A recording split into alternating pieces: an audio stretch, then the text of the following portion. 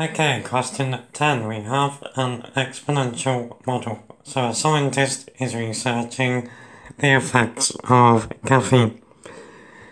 Uh, she models the mass of caffeine in the body using m equals m naught e to the minus kt, where m naught milligrams is the initial mass of caffeine in the body and m milligrams is the mass of caffeine in the body uh, after t hours. On average, it takes 5.7 hours for the mass of caffeine in the body to halve. One strong cup of coffee contains 200 milligrams of caffeine. Part A says the scientist drinks two strong cups of coffee at 8 am. We want to use the model to estimate the mass of caffeine in the scientist's body at midday. So the problem with that at the moment is that we don't know the value of k. So that's what we need to work out first of all. Now, to do that, we know that if um, m naught is 400, and then, so the 400 is coming from the two strong cups of coffee, and then uh, m will be 200 when t is equal to 5.7. So, if we substitute those numbers in, then we get 200 is equal to 400 e to the minus 5.7 k.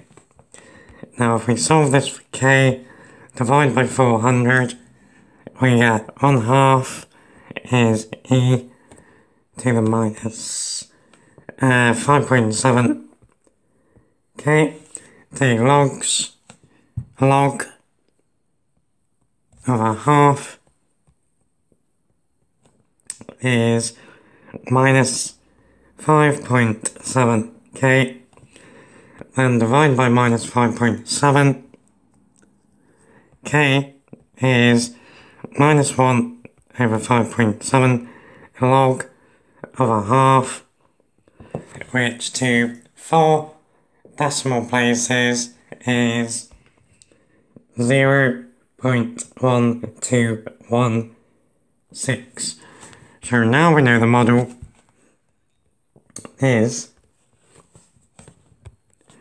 so m is m naught e to the zero point sorry minus zero point one two one six t. Now at midday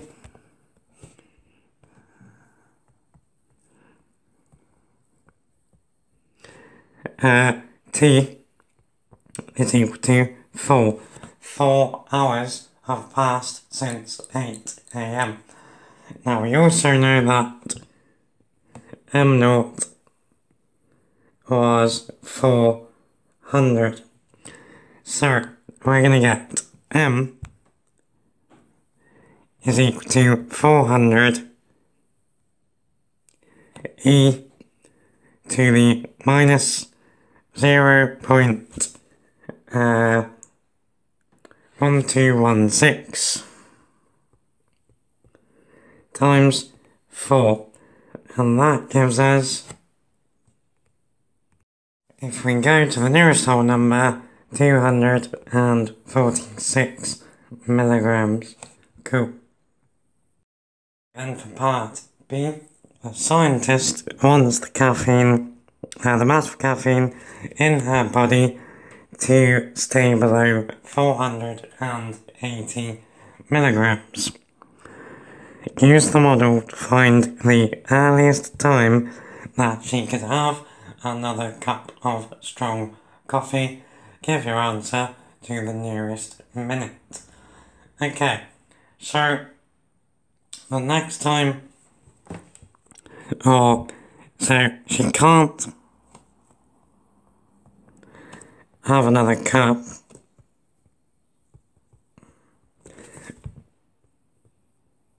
until uh, the mass in her body is 200 less than 480. Uh, until the mass in her body is 200 less than 480. Sure, 480 minus 200 is 280. So, using our model, we want the mass in her body to be less than or equal to 280.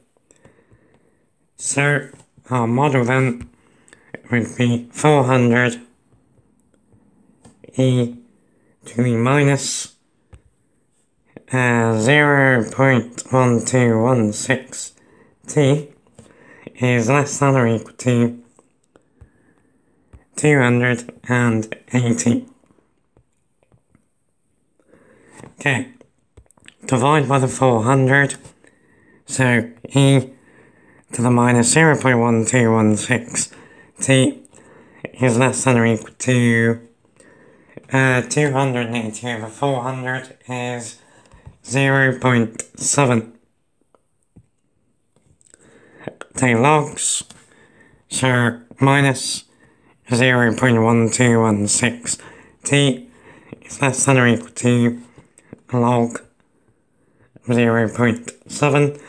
Now divide through by minus 0.1216. Now remember when you do that with inequalities, you divide by a negative or multiply by a negative, the direction of the sign flips.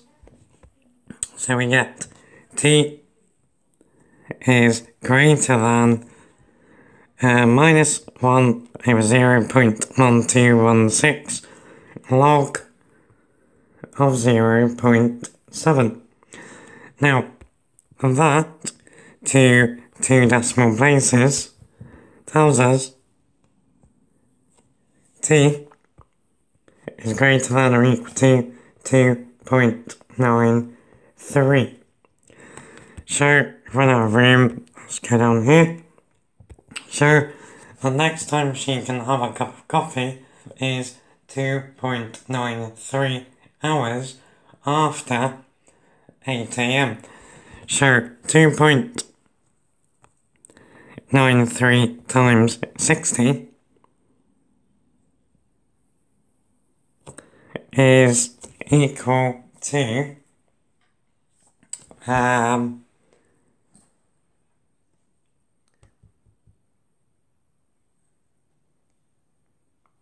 one hundred and seventy-five point eight. So it's hundred and seventy-five point eight minutes later. Now that, remember the question said give it to the nearest minute. So let's say that's 176 minutes. Now that is 2 hours and 56 minutes later. So, the next time she can have a cup of coffee is 10.56 a.m. I think I need a coffee now. And then part C asks us to give a reason uh, why the mass of caffeine remaining in the scientist's body predicted by the model may not be accurate. So, there's quite a few reasons I can think of. Everyone is going to metabolize caffeine at different rates. You could help your body get rid of it by drinking more water, um, anything like that, and you would be fine. Those are the first two that spring to my mind. Cool.